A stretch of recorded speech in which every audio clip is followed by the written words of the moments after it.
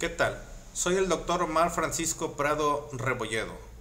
Pertenezco a la Facultad de Medicina Veterinaria Isotecnia de la Universidad de Colima.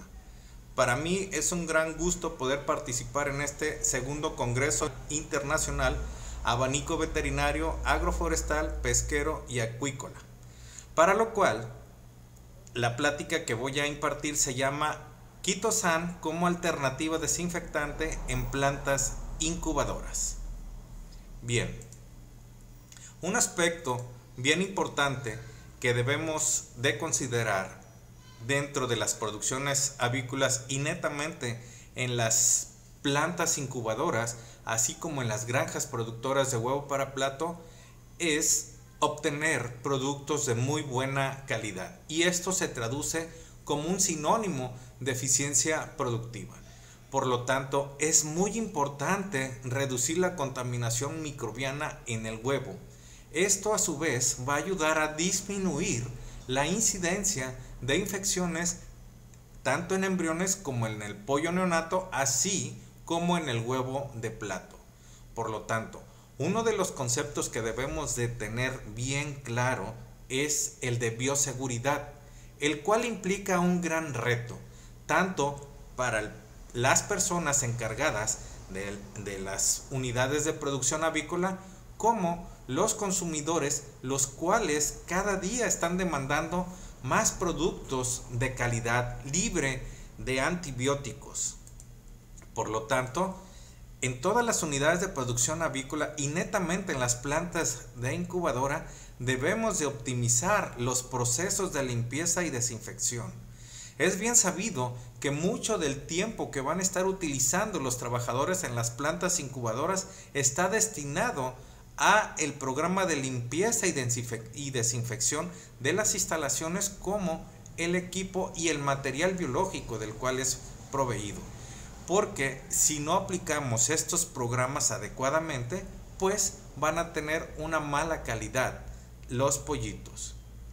Es bien importante conocer todas las propiedades de los desinfectantes, ya que se ha mostrado que los microorganismos que encontramos en el cascarón, a través de la ventilación tanto de las máquinas incubadoras como nacedoras, pueden estar distribuyéndose en todo lo largo y ancho de estas eh, máquinas y nos pueden ocasionar un problema de contaminación a los demás huevos. Por lo tanto, se ha visto también que estos microorganismos que están en el cascarón también son los mismos que vamos a encontrar en un pollito que nació como es la infección del saco vitalino o la propia onfalitis.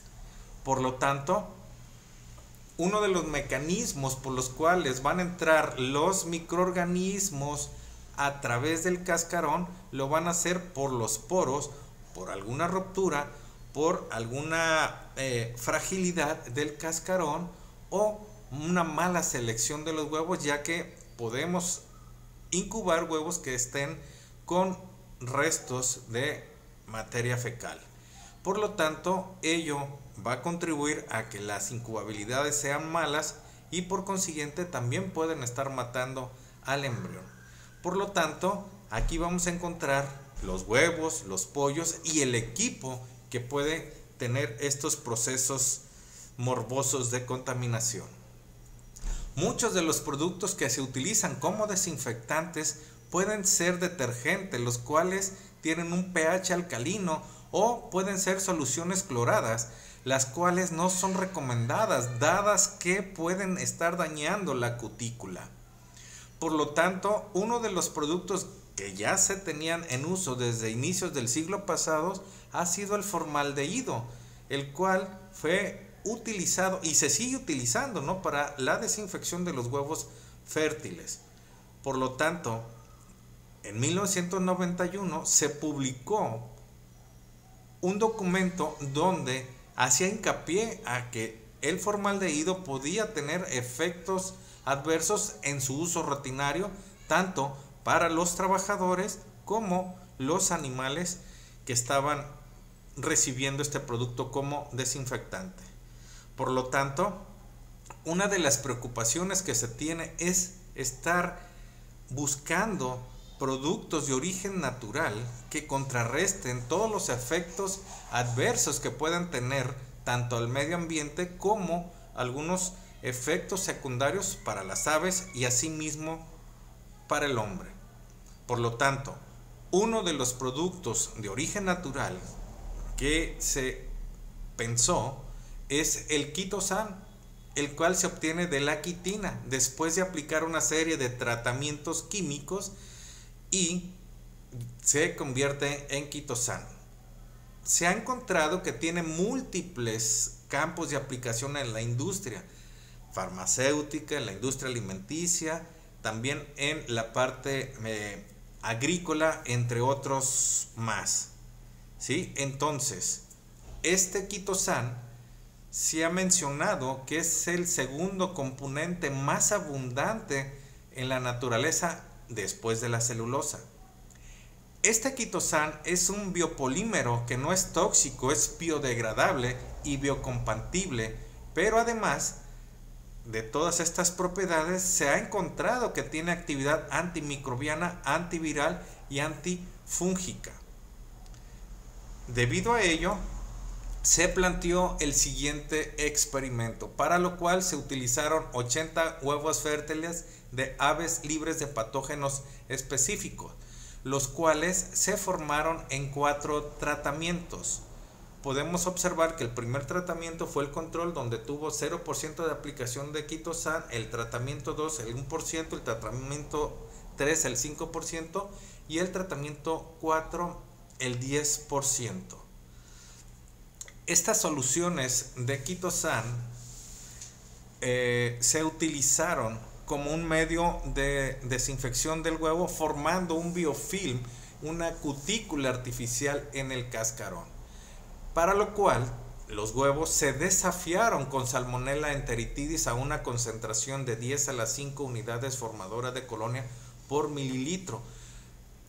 Los huevos se, se les dio una inmersión de 30 segundos ¿sí? en esta solución de salmonella para después ser almacenados por tiempos que fueron de 1, 24, 96 y 168 horas. Posteriormente, eh, después de esto, los, eh, se, se, hizo una recuperación de salmonela en agar verde brillante y agar XLD, los cuales se sembraron por triplicado, se incubaron a una temperatura de 36, 37 grados centígrados, perdón, por un tiempo de 24 horas. Para lo cual podemos observar en este cuadro las unidades formadoras de colonia por mililitro de Salmonella enteritidis en el cascarón con los diferentes tiempos de almacenamiento. Podemos observar que el tratamiento que no recibió el quitosan, las concentraciones de salmonella se mantuvieron constantes en todo el lapso de tiempo.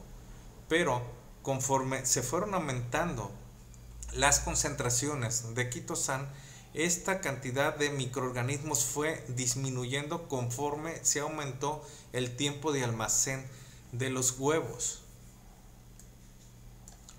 Eh,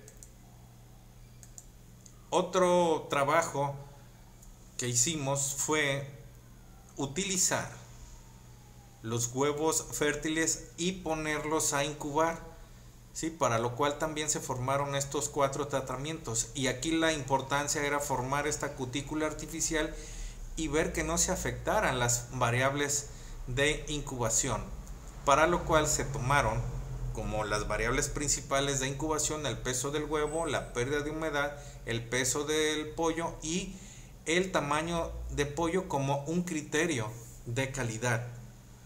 Para lo cual pudimos encontrar que en el peso del huevo los tratamientos fueron prácticamente iguales, dado que la procedencia de ellos era de la misma reproductora, pero la pérdida de humedad disminuyó conforme se fueron aumentando las diferentes concentraciones de quitosan y podemos observar que la pérdida de humedad menor fue a la mayor cantidad ¿sí? de adición de quitosan. Para el peso del pollo podemos observar que en los diferentes tratamientos se mantuvo prácticamente el mismo peso. Más sin embargo, en el tamaño de pollo pudimos observar que conforme se aumentó ¿sí? la concentración de quitosan, disminuyó significativamente el tamaño del pollo. Por lo tanto, podemos concluir que las superficies recubiertas con el biofilm de quitosan resistieron la formación ¿sí? a la presencia de salmonela. Esta biopelícula interactúa con la salmonella enteritidis a través de una combinación de propiedades electrostáticas, hidrófobas y quelantes. Por lo tanto, el quitosan puede quelar los iones metálicos que son cruciales para la estabilidad de las membranas de las células bacterianas y por lo tanto provocan la alteración de la estructura de la superficie celular. Asimismo, la biopelícula de quitosan que ofrece una muy buena actividad antibacteriana contra Salmonella enteritidis tanto en huevo fértil como en huevo de plato. Asimismo, no afectó el peso del huevo y el peso del pollo ni los demás parámetros de incubación que se monitorearon. Bien, con esta presentación podemos concluir que el quitosan podemos usarlo como una alternativa de desinfectante en las prácticas de desinfección en las plantas incubadoras.